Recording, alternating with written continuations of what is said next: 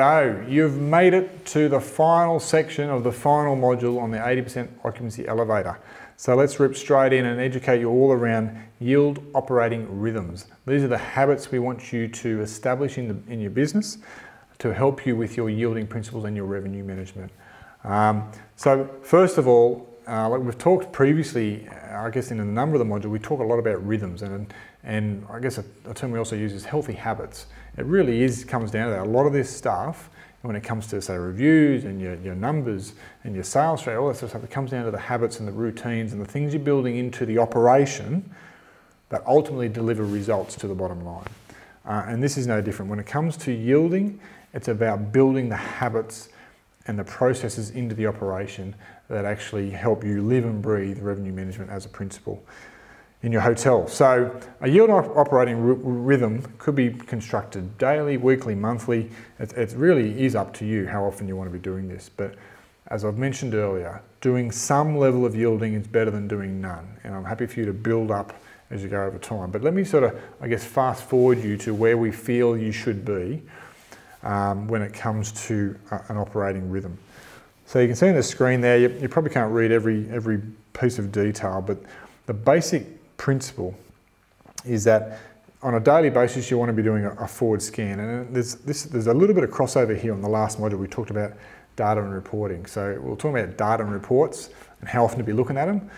It's a, it's a very similar field. It's, it's, it's virtually the same, but similar principles that um, on a daily basis, you want to be scanning forward in a, in a shorter term window. Because you, you, can't scan forward 365 days every single day. You'd spend all day in, in the office and get nothing else done. So if you've got some data and reporting in front of you where you can have a scan forward and say, okay, what's happening for the next week, two weeks, maybe up to a month, and go, yeah, yep, righto. Got some context now, make some adjustments.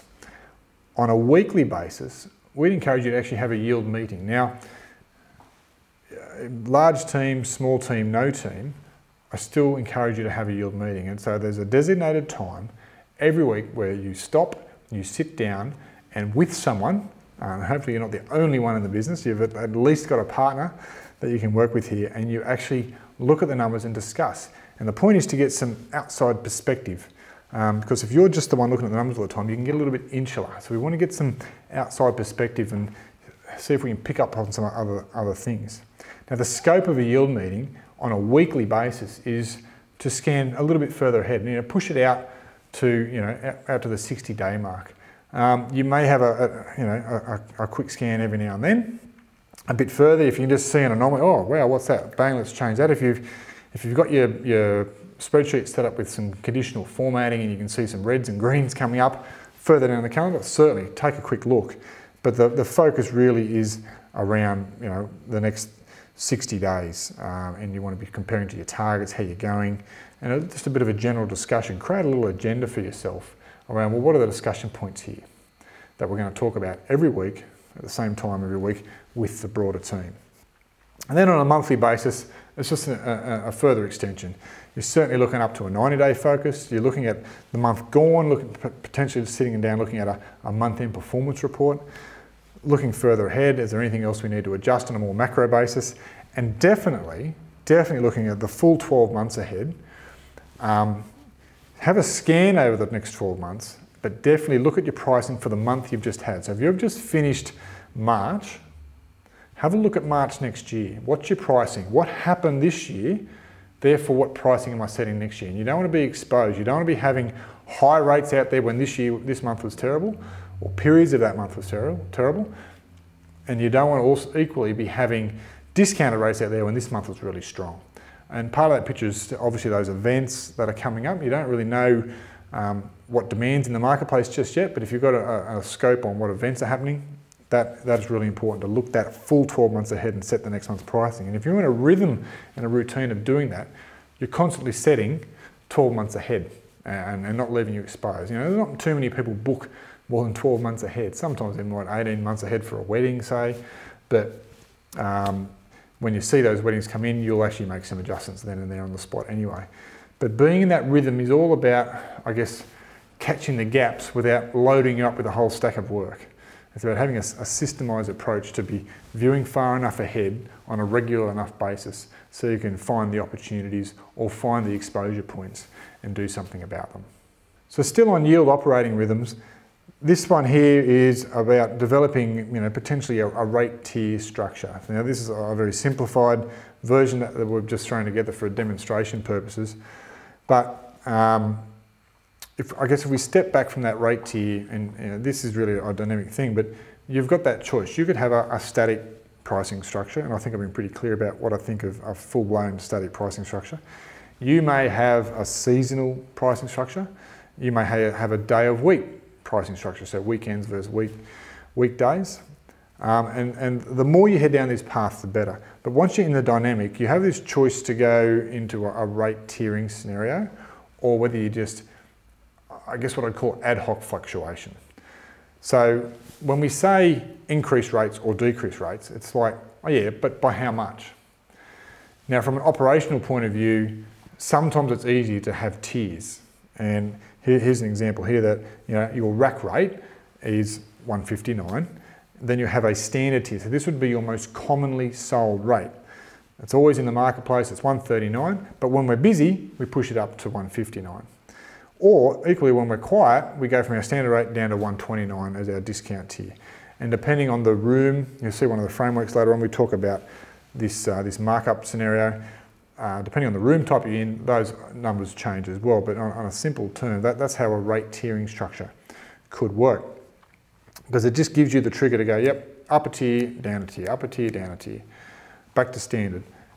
We'd probably recommend a, um, a more complex tiered structure than that. You know, you can quite easily move into a, a nine or 10 tiered tiering structure. So you've got more stop points in between, smaller gaps, and more ability to manipulate. It's actually been proven that even just to gain $1 is better than jumping maybe a whole $10 tier because you're going to miss some business on a $10 tier. So it's, if you're really getting sophisticated at this and you can, you can feel the market and you've got all the information in front of you, you can go, you know what, I'm just going to bump it up by a few dollars. So that would be the, not the opposite, but the alternative to running a tiered system is you're just going to go with, I'm going to float the rate. I'm going to set it to what I want.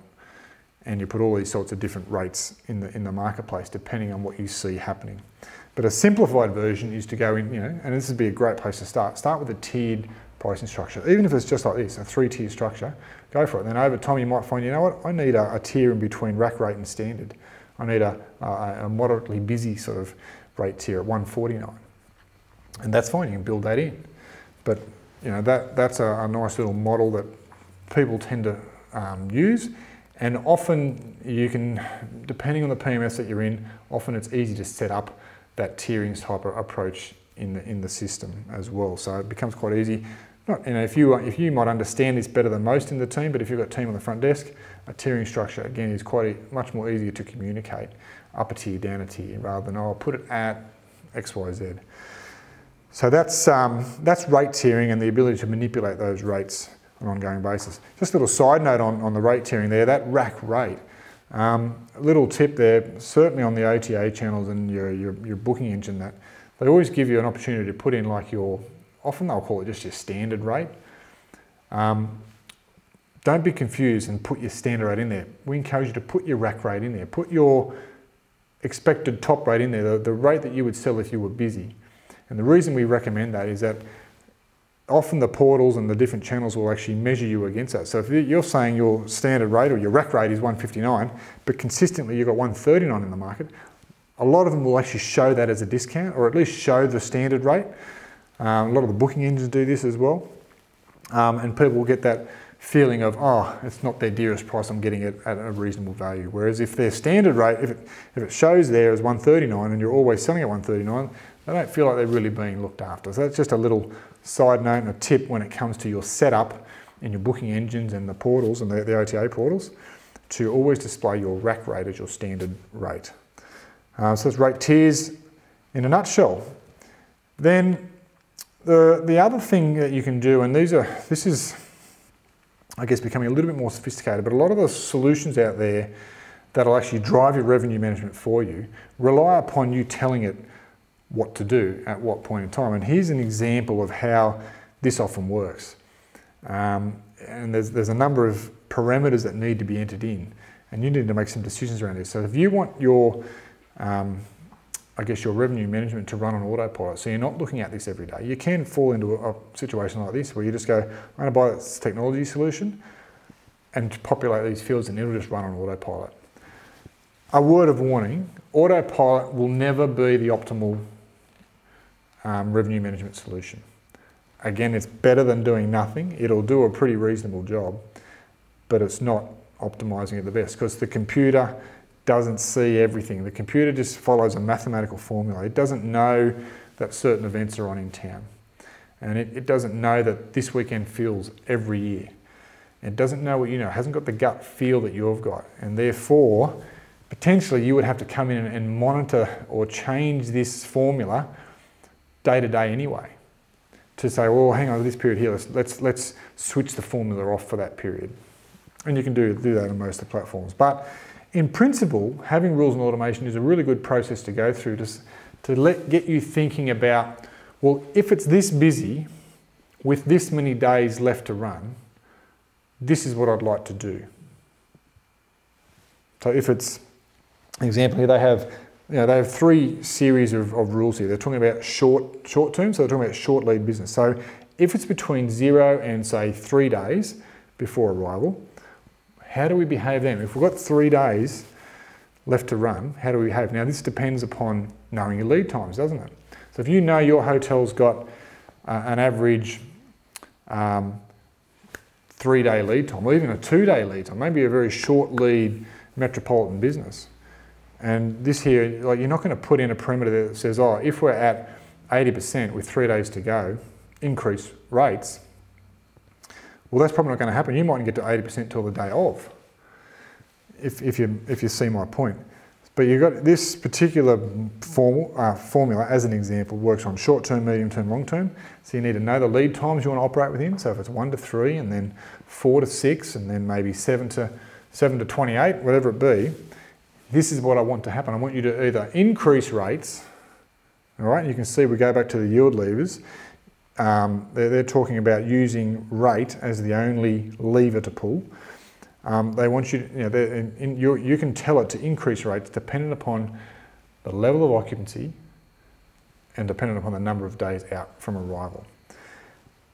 Good, it, it's a valuable exercise to go through in the sense that you may never use automation software, but if you sit down with your team and have a look at that, and have a, have a think about, well, what, what would we do? At, at what point in a typical normalised scenario would we increase rates?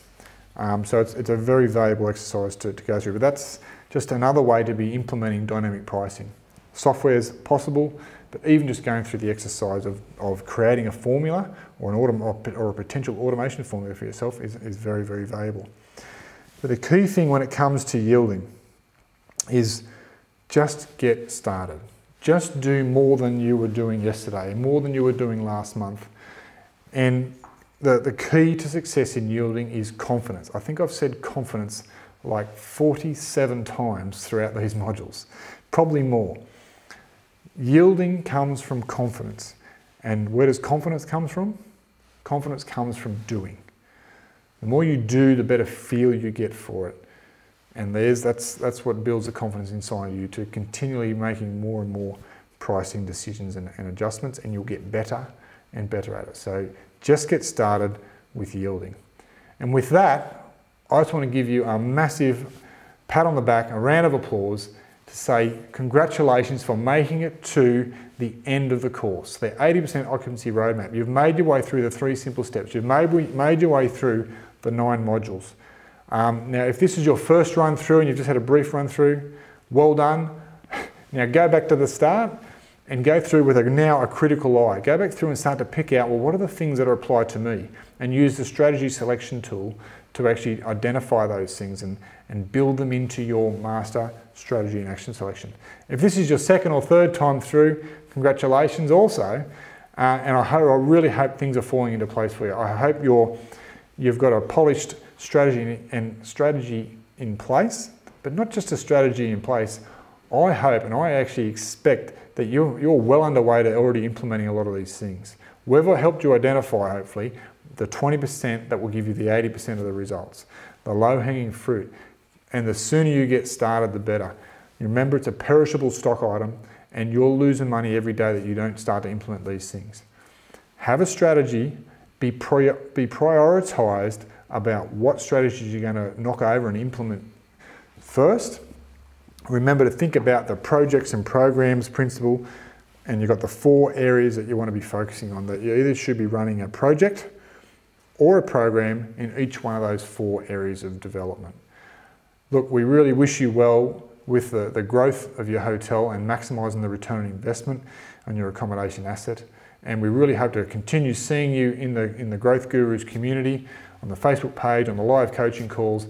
We'll always love to hear your questions, always love to hear your feedback, um, always love to hear what new content you'd like to, to be explored because um, we're here to help at all times.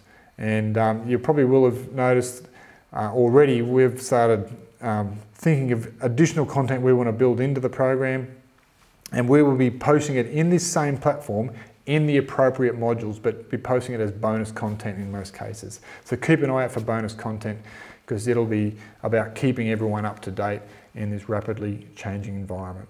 I wish you all the best, all the very best with maximising the profits and the performance of your business and all the success and happiness to you all. Thank you.